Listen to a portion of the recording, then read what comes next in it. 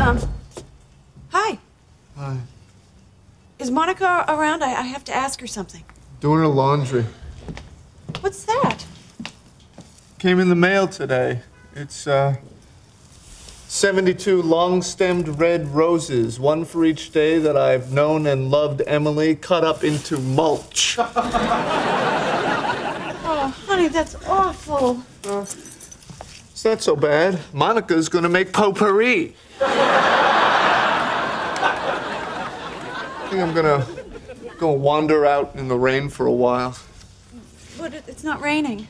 I can't catch a break. You know what, Ross? You're not going anywhere. You're gonna sit right here. I'm gonna make you a cup of tea, and we're gonna talk this whole thing out. All right? Okay. Hey, Dave. Yeah. Um, listen, I'm gonna need to take a rain check. My roommate is just really sick. Okay? Okay, bye. Honey, listen. I know. I know things seem so bad right now and that they're not Rach? gonna get any.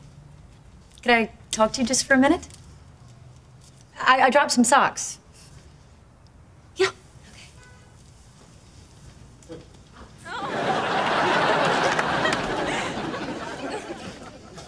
What is the matter with you?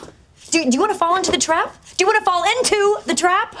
You did not drop any socks! I just ran into Dave and he told me you blew him off. I mean, you listen to me. Now I'm calling the shots. I said you leave Ross alone and go get Dave.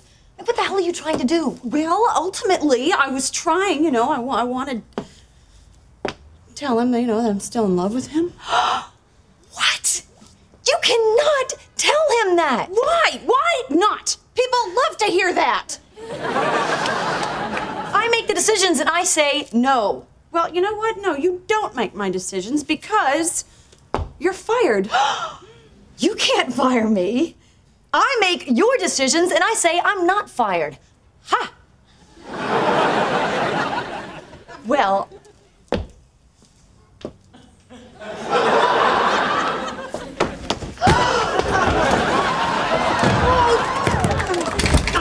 Rachel, come on, let me in. Having some trouble? Rachel locked the door. I'll kick that door in if you give me a little sugar.